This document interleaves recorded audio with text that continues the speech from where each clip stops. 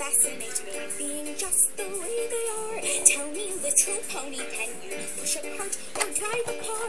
Lyre is my instrument, but humans strum their sweet guitar.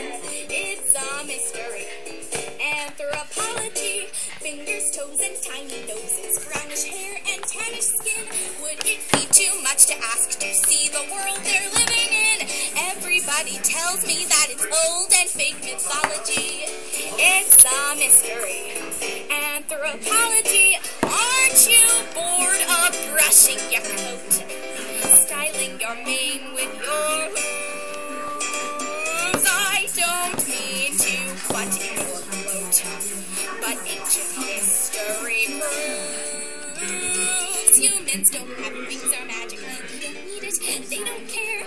All they've got's imagination. New inventions everywhere. Babies, children, teens, and elders, all alike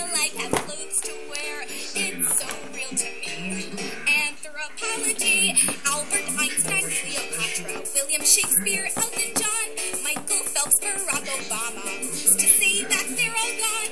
Maybe humans like us too and dress like us at Comic Con. It's so real to me. Anthropology,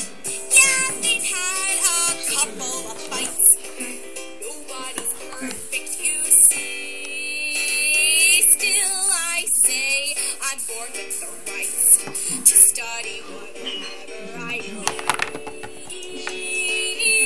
please.